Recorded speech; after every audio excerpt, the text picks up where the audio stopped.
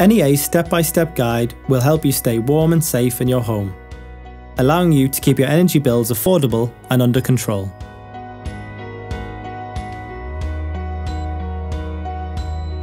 Carbon monoxide is a deadly gas that cannot be seen, smelt or tasted.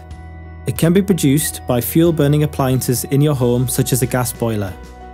Take the following steps to protect yourself and your family. Make sure that fuel burning appliances such as fires, boilers and gas cookers are regularly serviced by a qualified engineer. For gas appliances, engineers should be gas safe registered for oil appliances OFTEC registered, and for solid fuel appliances HETAS registered. Ask your engineer for proof of their registration. Install an audible carbon monoxide alarm. These can be bought from DIY stores, supermarkets and high street shops. They cost around £15 and could save lives.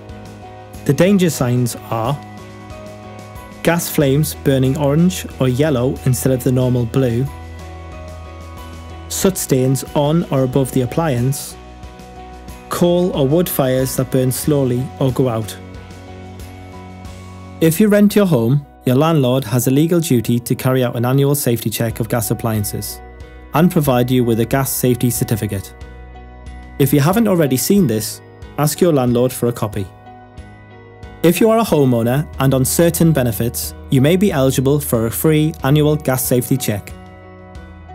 Contact your gas supplier to check your eligibility and ask about registering with their Priority Services Register.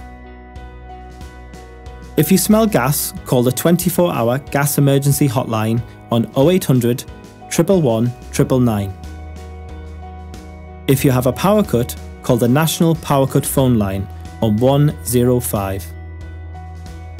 For further information on how to stay safe, go to co-bealarmed.com fuel.co.uk. This video was brought to you by Fuel Poverty Charity National Energy Action.